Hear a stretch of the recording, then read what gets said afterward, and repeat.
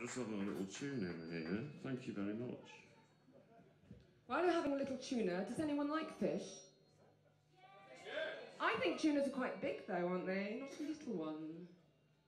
No, okay. Are they? Ah, okay. I believe you.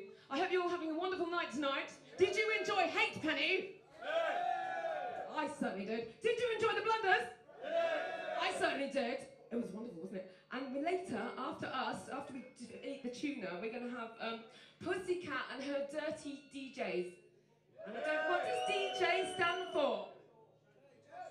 What does DJ stand for? That's more like it.